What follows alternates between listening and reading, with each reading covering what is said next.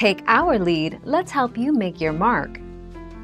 Our goal is your satisfaction. Let us show you the way.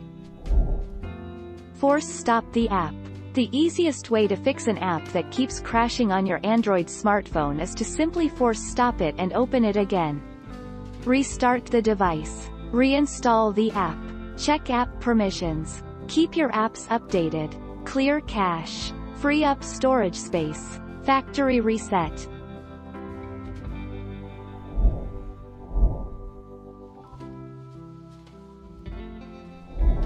Let's help you make your mark.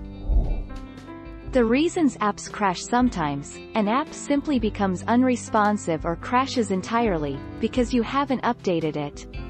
It may also be that your phone has run out of storage space, causing the app to run poorly. In that case, you may have to clear the cache on the app regularly to give it a boost.